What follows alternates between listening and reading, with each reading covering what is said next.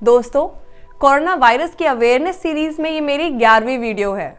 अभी तक आप इसके भयवे रूप को समझ गए होंगे, लेकिन इस वीडियो को एंड तक देखने के बाद आपको समझ आएगा कि ये तो बस ट्रेलर था मूवी तो बाकी है। ये बात इसलिए कह रही हूँ क्योंकि डेली तीन हज़ार से ज़्यादा कोरोना वायरस से इन्फेक्टेड नए केस सामने आ रहे हैं और टोटल इन्फेक्टेड लोगों की संख्या बढ़कर करीब पैंतीस हज़ार हो गई है। इस वायरस से मरने वालों की संख्या लगातार बढ़ रही है। एज ऑफ़ टुडे 8 फरवरी को 725 लोग अपनी जान गंवा चुके हैं। चाइना के बाहर भी कोरोना वायरस से मरने वालों की संख्या लगातार बढ़ रही है। हांगकांग, थाईलैंड और फिलीपींस में एक एक व्यक्ति की मौत के बाद अमेरिका भी अछूता नहीं रह सका और एक इंसान के मरने की खबर आई है। वहीं 2400 लोग जो इस वायरस से पीड़ित थे, उनको बचा लिया गया है। अब बात कर लेते हैं डॉक्टर ली वैंग लियांग की। चौंतीस साल का वो डॉक्टर, जिसने सबसे पहले कोरोना वायरस को लेकर पूरी दुनिया को आगाह किया था। आज उसी हॉस्पिटल में जिसमें वो काम करता था। कोरोना वायरस से अपनी जान गंवा चुका है। दिसंबर 2019 में एक पेशेंट का इलाज करते समय ली वैंग लियान ने चाइना की popular social media app WeChat के थ्रू बताया कि एक पेशेंट की सार जैसे वायरस से मौत हो गई है। जैसे ही ये खबर चाइना स्टेट पुलिस को पता लगी ली को शाबाशी देने की बजाय समाज में अफवाह फैलाने के जुल्म में जेल में डाल दिया। और वुहान शहर पहले की तरह नॉर्मल चलता रहा, मानो कुछ हुआ ही ना हो। लेकिन सरकार के पैर तले ज़मीन तब खिसक गई जब दो हफ्तों के भीतर ही हज़ारों लोगों को कोरोना वायरस का इन्फेक्शन हुआ और लोग मरने लगे। लेकिन तब तक देर हो चुकी थी। आज ली जब इस दुनिया में नहीं रहा, लाखों चाइनीज़ लोग सोशल मीडिया पे ली को अपना हीरो बता रहे हैं। और सरकार पे इल्ज़ाम लगा रहे हैं कि टाइम पे ली की वार्निंग को सीरियसली लिया जाता। तो कोरोना वायरस इतना नहीं फैल पाता। अब बात कर लेते हैं कोरोना वायरस के कहर के बाद। चाइना में रहने वाले लोगों की ज़िंदगी कैसी हो गई है?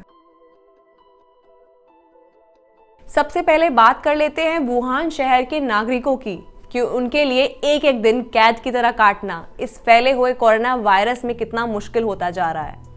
लोग अपना जीवन इस टाइम होम अरेस्ट की तरह व्यतीत करने पे मजबूर हैं। क्योंकि उन्हें पता है कि घर के बाहर निकले तो कोरोना वायरस के वो शिकार हो सकते हैं। जहाँ डेली डेथ टोल राइज करता जा रहा है और सस्पेक्टेड केस इतनी ज़्यादा तेज़ी से बढ़ रहे हैं कि वुहान जैसी बड़ी सिटी में हॉस्पिटल्स तक की कमी हो गई है। आप अनुमान लगा लीजिए कि ये नंबर जो चाइनीज़ गवर्नमेंट पब्लिक कर रही है, उतना है या फिर उससे भी कहीं ज़्यादा?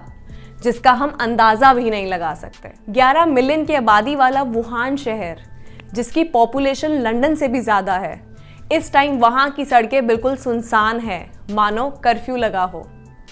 टेन लेन रोड्स जिनका वर्ल्ड की बिजिएस्ट रोड्स में काउंट आता है, वो इस टाइम बिल्कुल खाली पड़ी है। सड़कों पे अगर हैं तो बस टैक्सीज वो भी वही 6000 टैक्सीज जो गवर्नमेंट ने डिप्लॉय की है, लोगों के सिर्फ़ ज़रूरी यातायात के लिए। मैं आपको डराना नहीं चाहती, पर सिचुएशन इस टाइम कुछ ऐसी है कि अगर आप घर से अपनी गाड़ी में निकलते हैं और आपके पास कोई इमरजेंसी रीज़न नहीं है उस ट्रैवल का तो आपको वहाँ की पुलिस फाइन लगा सकती है और यहाँ तक कि आपका लाइसेंस तक सस्पेंड कर सकती है। लोगों को उनके अपार्टमेंट्स और रूम तक लिमिटेड कर रखा है। और रही बात टैक्सीज में ट्रैवल करने की लोगों में कोरोना वायरस को लेकर इतना डर है कि वो किसी अननोन सा ट्रैवल करने तक में घबरा रहे हैं। अब कर लेते हैं बात खाने पीने को लेकर। सिटी के सारे रेस्टोरेंट्स इस टाइम क्लोज्ड हैं। लोग पैक्ड फ़ूड खा रहे हैं और उसके लिए लोग एक बार में ही दो से तीन हफ़्ते का राशन स्टॉक कर रहे हैं। शहर में इस टाइम इतनी मारा मारी है कि लोग ग्रोसरी स्टोर्स में सूट केसेस में सामान भर भर के ले जा रहे हैं। लोग ऐसा इसलिए कर रहे हैं क्योंकि सिचुएशन इतनी बिगड़ी हुई है कि लोगों को पता नहीं कि नया स्टॉक कब आएगा मार्केट्स में और कोरोना वायरस से चाइना कब उभर पाएगा। प्रिकॉशस मेजर्स में लोग मास्क के साथ ही घरों से बाहर निकल रहे हैं। मास्क की भी काफ़ी कमी वुहान सिटी फेस कर रही है, जिसकी वजह से मास्क की ब्लैक मार्केटिंग हो रही है और चार चार गुना दामों पे मास्क को इस टाइम पे बेचा जा रहा है। पर गवर्नमेंट ने इस चीज़ पे अनाउंस किया है कि अगर ऐसा किया जाएगा तो बेचने वाले पे फाइन लग सकता है। खाने के साथ साथ डिसइंफेक्शन सोल्यूशंस और हैंड सैनिटाइजर जो लोगों को इस वक्त सेल्फ हाइजीन के लिए सख्त ज़रूरी हैं, वो सब भी आउट ऑफ़ स्टॉक है। ऐसी सिचुएशन को हम खुद पे सोच कर देखें तो कह सकते हैं that many people in China may be physically okay and safe but mentally they are not इस कर्फ्यू जैसी सिचुएशन में सभी लोग काफ़ी डरे हुए हैं और सफोकेट हो रहे हैं। जितनी भी बड़ी बिल्डिंग्स या पब्लिक प्लेसेस हैं, वहाँ पर बैरिगेड्स लगे हुए हैं। किसी को भी बिना टेम्परेचर चेक के एंटर नहीं करने दिया जा रहा। चाइना के लोगों के अंदर कोरोना वायरस को लेकर इतना खौफ है कि वो किसी भी एलियन चीज़ को छूने से भी डर रहे हैं। जैसे कि एलिवेटर का बटन तक वो कीज या फिर किसी और चीज़ से प्रेस करना प्रेफर करते हैं। सबसे दुख वाली बात यह है कि वुहान के लोग गवर्नमेंट द्वारा दी जा रही कोरोना वायरस से रिलेटेड फिगर्स पर भी डाउट कर रहे हैं। ऐसा माना जा रहा है कि कोरोना वायरस की फिगर्स अंडर रिपोर्टेड बताई जा रही हैं। जिन लोगों की जान कोरोना वायरस से जा रही है, उनका डेथ रीजन, उनकी किसी पहले की बीमारी जैसे कि हार्ट डिसऑर्डर या फिर डायबिटीज़ का बताया जा रहा है।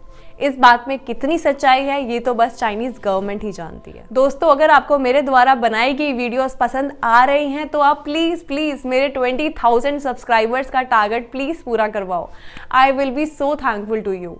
और कोरोना वायरस को लेकर भारत में जागरूकता की मुहिम में मेरे हिस्सेदार बनने के लिए आप सभी का तहे दिल से धन्यवाद। क्योंकि ये टाइम सेंसिटिव टॉपिक है तो अगर मेरे द्वारा दी गई कोई भी जानकारी ऑप्सलिट हो गई है या फिर पुरानी हो गई है तो प्लीज़ कमेंट करके अपडेट कर दें ताकि सभी तक लेटेस्ट इन्फॉर्मेशन पहुँच सके। अगर आपको मेरी ये वीडियो थोड़ी सी भी हेल्पफुल और इन्फॉर्मेटिव लगी हो तो यहाँ नीचे एक लाल रंग का बटन है सब्सक्राइब का। उसको आप दबाना बिल्कुल मत भूलें और जब आप सब्सक्राइब करें, साथ में बेल आइकन भी दबा दें ताकि जब भी मैं कोई नई वीडियो डालूँ, आपके पास उसकी नोटिफिकेशन सबसे पहले पहुँच जाए।